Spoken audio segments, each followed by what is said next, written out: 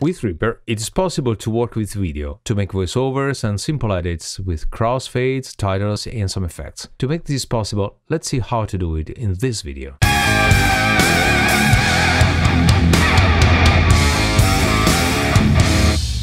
Reaper is a tool that allows you not only to produce music, but also to work in ADR and to perform simple video editing with uh, crossfade effects, titles, and so on. To enable these features, you need to install two free packages, VLC and the FFmpeg.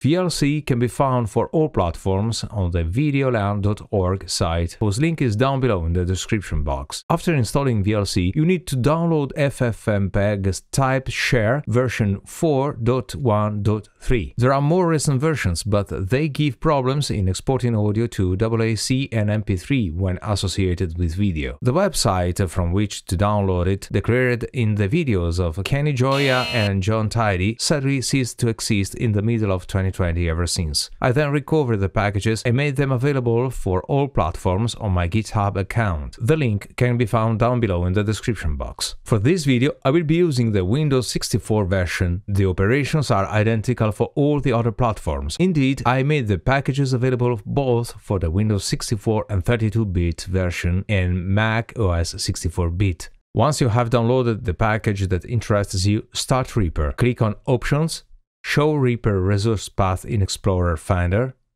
go to the directory User Plugins. From the zip file downloaded from GitHub, go to the bin directory and drag all the files to User Plugins and drop them up there. It shouldn't be required, however, restart Reaper and drag a video into the project. Click on View, Video or Control Command plus Shift plus V and the video display opens. When to play, you will watch the video and listen to the audio. You can start editing. That's it for the moment. Thanks for watching.